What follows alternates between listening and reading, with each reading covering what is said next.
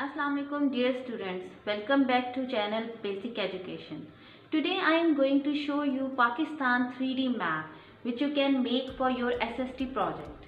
To make this map you will need a thermoplastic sheet water paints paint brushes A4 size computer paper toothpicks and glitter sheet.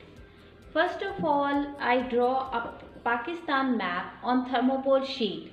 I cut it with sharp knife be careful while using knife. You can take the help of your elders. To elaborate its different parts, I used water paints and labeled its provinces.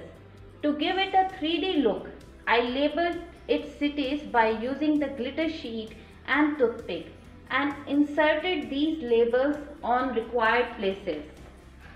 Now this presentable and easy map is ready.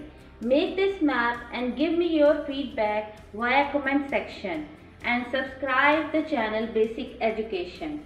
Take care. Allah Hafiz.